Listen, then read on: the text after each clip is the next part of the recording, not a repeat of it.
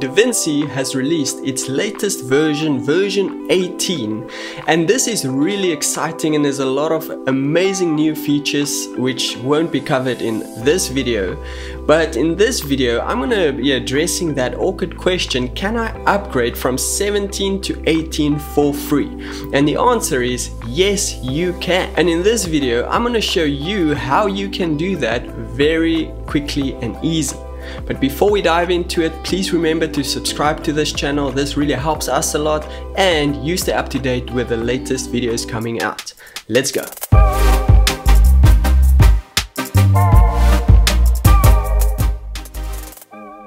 The best and quickest way that you can get DaVinci Resolve 18 for free if you already have a paid version uh, from version 17 is you go to the website.